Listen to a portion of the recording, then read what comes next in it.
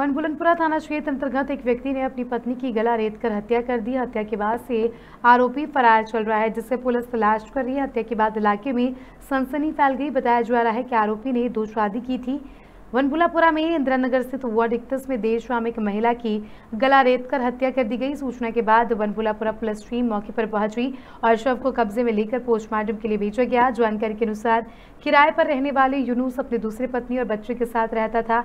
मोहल्ले के लोगों का कहना है कि जब लोग उसके घर गए तो महिला की गर्दन किसी धारदार हथियार से कटी हुई थी। बताया जा रहा है कि मृतक महिला यूनुस की दूसरी पत्नी थी, जिससे उसने किराए में मकान पर रखा था। बताया जा रहा है कि पति पत्नी के बीच मामूली विवाद हुआ था, जिसके बाद आरोपी पति ने सब्ज़ी काटने वाले चाकू से सीमा का गला रेतकर हत्या कर दी। पूरे मामले में पुलिस फरार आरोपी की तलाश कर रही है। हल्द्वानी से दीपक अधिकारी की रिपोर्ट।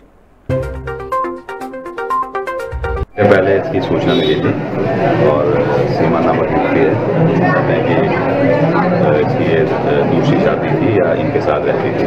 तो पुलिस को सूचना मिली थी, थाना बनपुरपुरा को। बिस्तरना होती पड़ी थी। देखा तो गला उसका लेता हुआ था। तो पुलिस ने उसको कन्फर्मेशन के लिए हॉस्पिटल भेजा।